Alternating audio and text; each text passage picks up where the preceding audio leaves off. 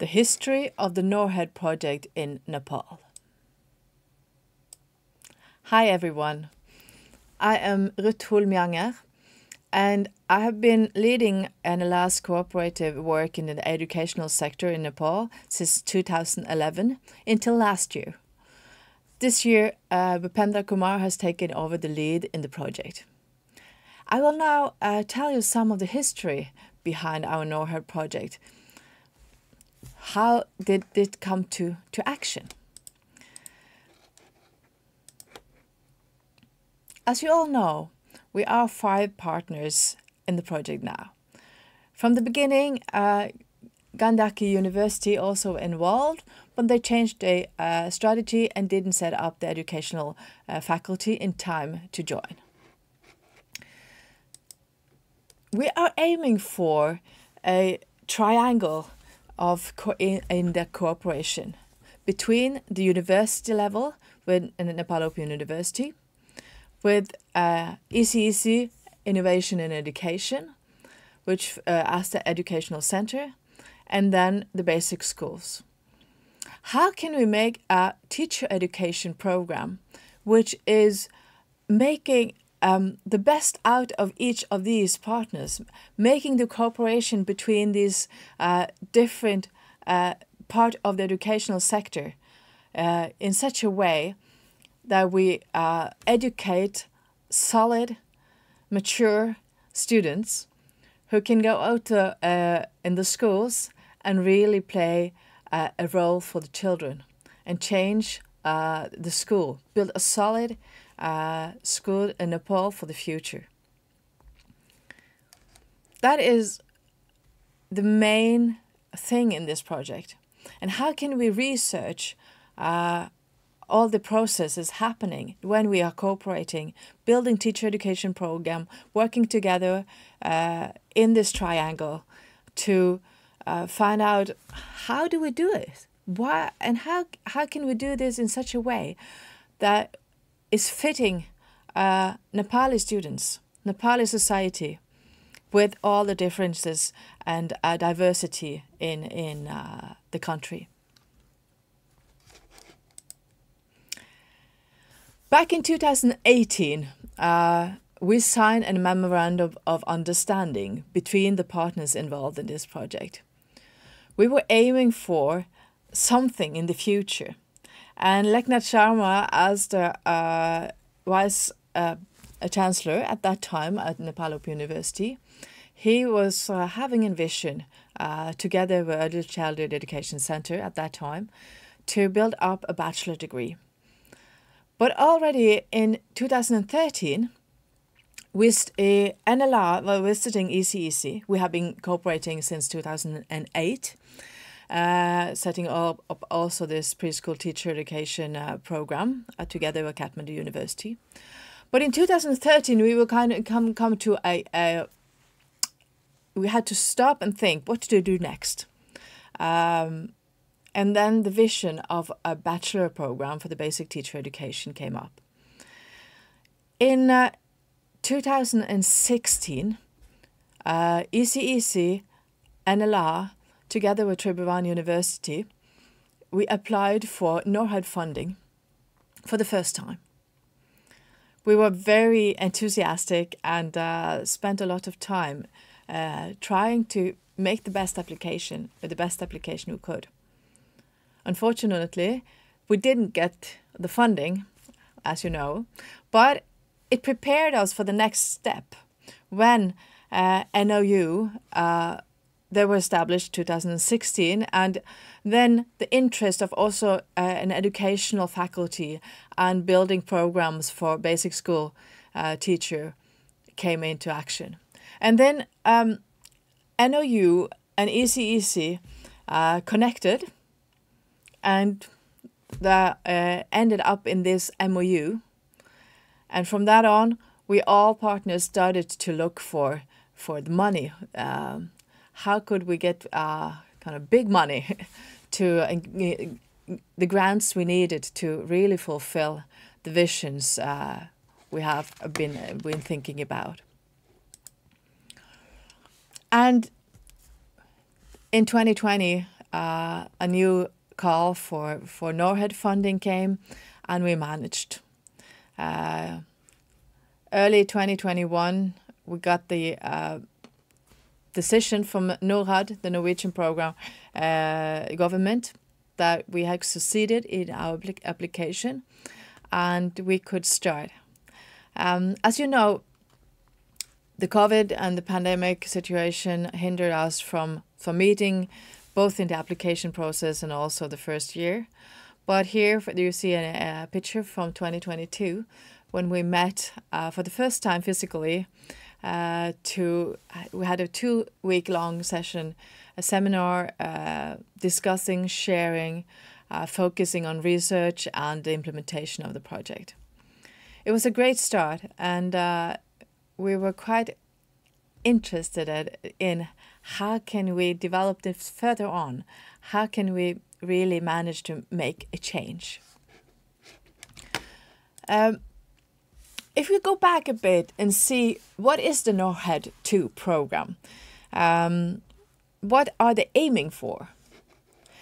In their theory of change from the NORHED, uh, they and, and the NORHED program, the goal for the whole for all project it's a 66 project around the world uh, in, in together with Norwegian institutions. Um, the goal for them is all to look for the sustainable development and the sustainable development goals. And they look for an impact to have a better qualified workforce, to apply sustainable solutions and practices, evidence based policies, and enhance gender uh, equality and inclusion. The outcomes for uh, our project should be more and higher quality research, higher quality graduates, and more inclusive higher education. So how can we do that? Um, the uh, higher education institutional capacity should grow uh, during these programs. So the focus is in uh, at the partner institutions uh, in Nepal, uh, even though of course we as the Norwegian institutions also uh, get improvement of our capacity cooperating with the Nepali partners. So one of the project uh, outcomes should be to look at programs and methods. The next is to build systems within the institutions, and we are primarily uh, focusing on uh, on research uh, structures for research and um, also for new programs, uh, both at bachelor level and also we have been uh, cooperating with on making a new PhD program. The infrastructure is more uh, bigger um, changes of the buildings. We have limited resources in this project, but could help with uh, with uh, smaller um, small things to to help out uh, with the infrastructure of the institutions. But outreach is to get get this knowledge and everything out to people and also that it is open for uh, students and uh, staff from different society uh, from uh, minorities and also the like you say uh, the next here for gender and equity uh, in a broad sense of how we can do it in our programs and research we should reach out to the society um, and impact in what we do. And the last one here is people, because a project like this is involving people as the core objects, or not objects, humans. Uh, we are working together, and that is an organic process. We will work together. Uh, I have brought a, a bag of seeds today. And you all know when you, you have different seeds, they have different size, different colors, uh, different shape, and still it's a bit similar when they are small, but when you put it in the soil and you really let them grow, You give them water and sun and all they need, and then they grow up and become the most beautiful flowers or vegetables or herbs or whatever we need to live. So this variety is also of great importance in such a project who have the vision of uh, making a new uh, new programs for bachelor uh, or for teacher education in Nepal. So building a solid um, solid knowledge uh, within the people uh, and the vision, um, motivation within the people uh, involved in this project is uh, of great importance. So if you go like to the main objectives of this project, it is described as the following. To build capacity in higher education institutions faculty and ECEC staff for establishing an academic community interested in improved research and pedagogy in basic teacher education and basic school. The other objective, main objective for our project is to improve curriculums, teaching, and research in education faculties at higher education institutions in Nepal. More specifically, to find cultural keys to succeed within pedagogy taught by educational faculties for successful transferring into basic schools in grade 1 to 8, with a particular focus on developing sustainable solutions and practices. So, we're aiming for to do something which can last, which is so connected to the cultural heritage, uh, to language, to the needs of the Nepali schools and the Nepali teacher educators and teacher students, that it is so strong that it will last, it will be implemented. It's not an easy task, and uh, most of all, Nepalese, uh, you need to, to dig deep to find which way to go. How can we um, manage this to make this triangle a uh, success, successful and sustainable partnership between the higher education institutions, educational cen uh, centers, and the basic schools?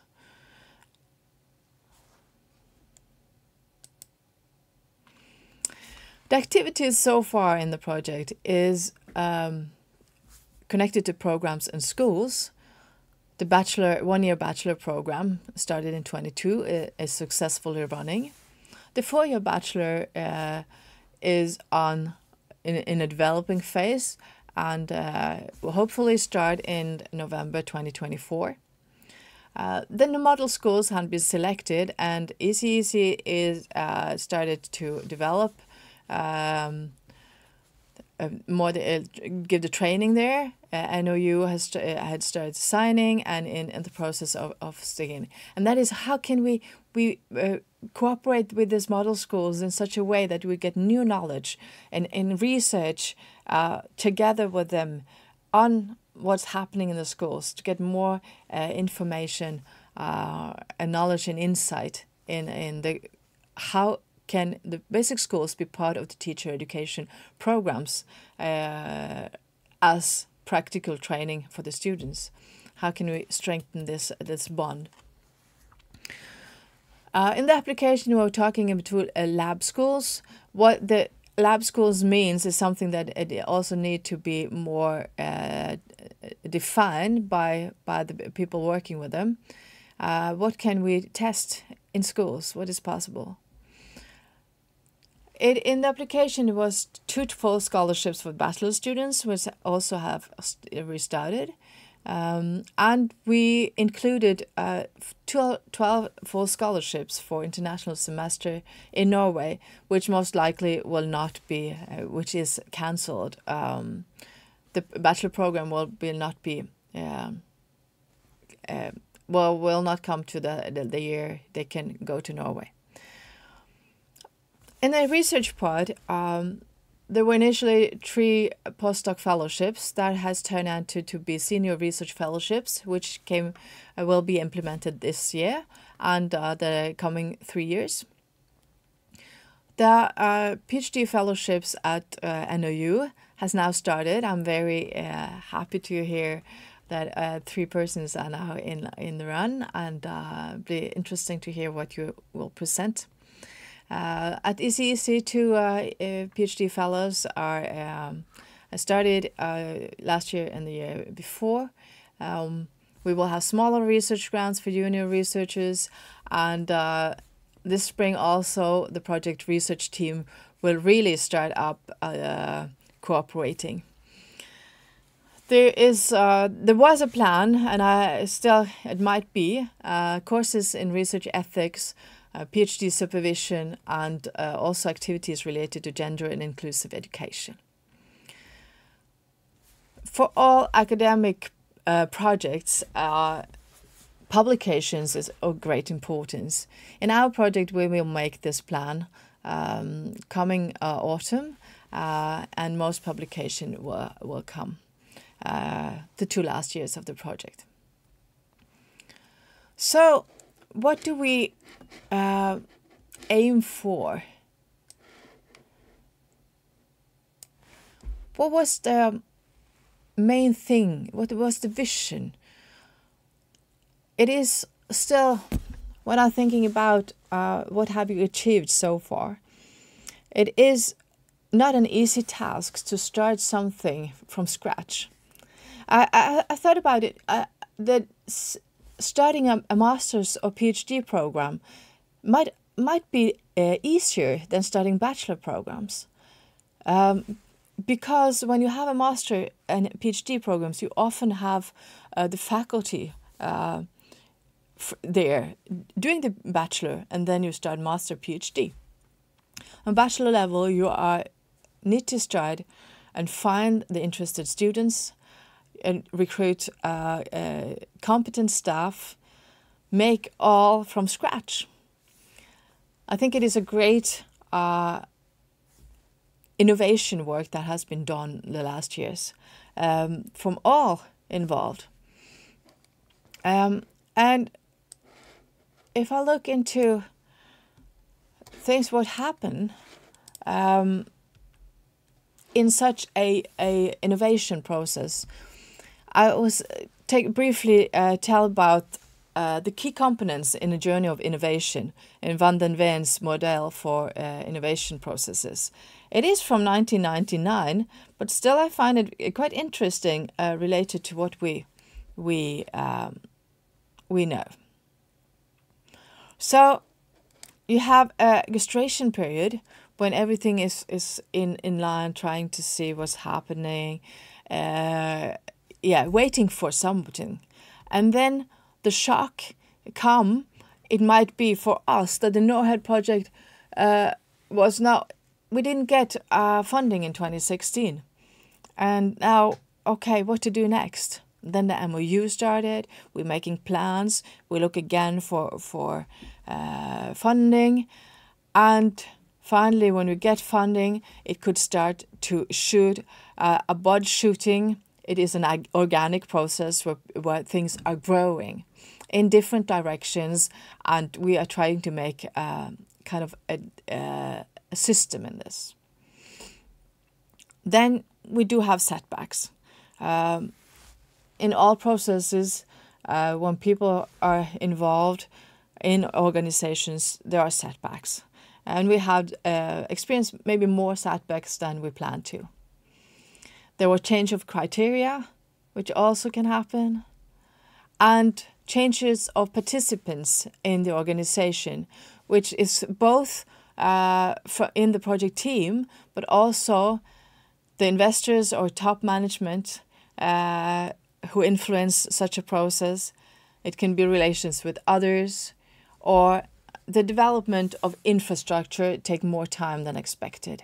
So all these uh, things is is um, influencing our process with our project, and it can end in either an implementation in time or a termination of, of all. We, we didn't manage it.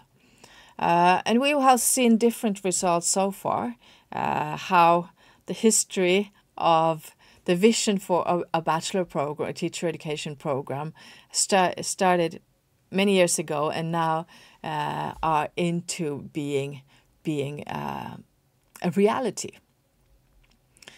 So, an aim for and a vision for the NORHED project is establishing an academic community. If we do manage to have an academic community for different organizations uh, in different countries interested in the bachelor education uh, and a basic teacher education in Nepal, which if this community is based on on respect and interest for each other, we don't need to have the same perspective on everything. A professional academic community should have different perspectives. That is what it makes it interesting. This that is how we can we can grow and challenge uh, each other. And there are different schools different directions different ways of, of of beliefs and visions. But we do have the same goal that we want to have uh, improved teacher education in Nepal for the future for the students and for pupils and for the country. Uh, sometimes when when uh, it was had been challenging and people things are a bit slow, I have reminded myself about uh, that this building solid teacher educations it is a, a fifty years perspective, um, and if we remind ourselves that we take steps for the longer uh, journey, uh, and we are small parts in, in the big puzzle then uh, I think we can we can uh, move on and see that we are part of a bigger fellowship. And in the end, uh, all the seeds will grow in different, and we can join in to to give uh, good soil and also to to uh, give water, so the plants will be a great diversity uh, in for the future of the educational sector in Nepal. Thank you for listening.